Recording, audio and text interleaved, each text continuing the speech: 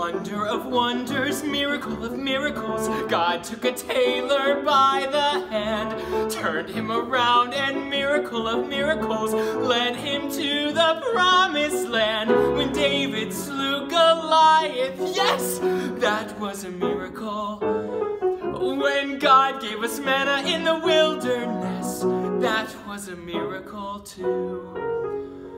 But of all God's miracles, large and small, the most miraculous one of all is the one I thought would never be. God has given.